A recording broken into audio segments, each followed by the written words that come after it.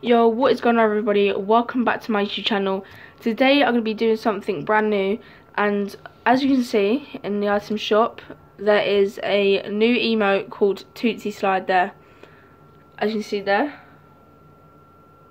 Which looks pretty cool and I'm going to be showing you how to get this emote completely for free. So let's go. So what you want to do, you want to head over to the settings and you want to go to the, the little person icon in the corner there. So once you've done this, you want to go to hide your Linux account name. There, as you can see, hide your Linux account name and it must be on. It should be on, otherwise if it's not on then you can't get the emote for free. So once that's on, go to can receive gifts and make sure this is on as well, as you can see there and as you go down you need to go to hidden matchmaking delay there and turn it all the way up to 60 sec uh, sorry 100 seconds.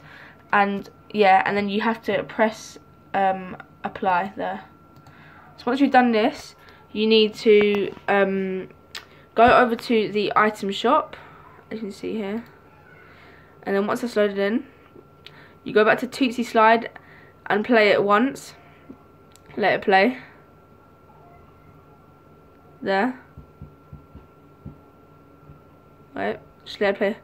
And then once it's done you press um, you go back to play and then when you go back over to settings there and you go back down to the hidden matchmaking delay and put it all the way down to zero seconds again and you hit that apply button there.